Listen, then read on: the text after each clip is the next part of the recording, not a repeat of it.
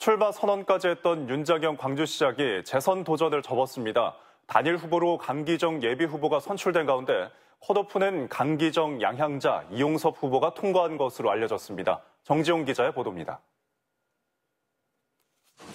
윤장현 광주시장이 오는 6.13 지방선거 불출마를 전격 선언했습니다.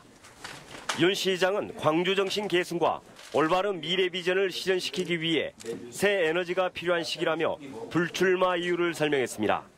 시민시장으로서의 부여받은 책임과 역할을 다하며 민선 6기를 성공적으로 마무리하겠습니다.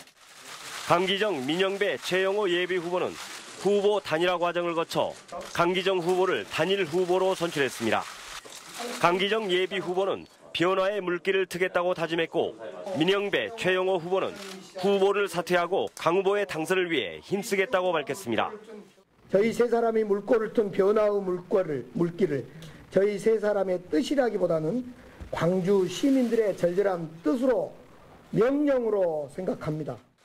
현직 시장의 불출마와 후보 단일화로 민주당 광주시장 경선 판도가 크게 출렁이고 있습니다. 이런 가운데 최종 경선 후보는 3명으로 압축된 것으로 알려지고 있습니다. 민주당 공천관리위원회는 오는 6일 최고위원회를 거쳐 강기정, 양향자, 이용섭 등 3명을 경선 후보로 확정해 발표할 예정입니다. 1차 경선에서 과반 투표자가 없을 경우 2차 결선 투표를 치르기 때문에 1위 후보의 투표 활동과 함께 2위 다툼이 치열할 것으로 보입니다. KBC 정지용입니다.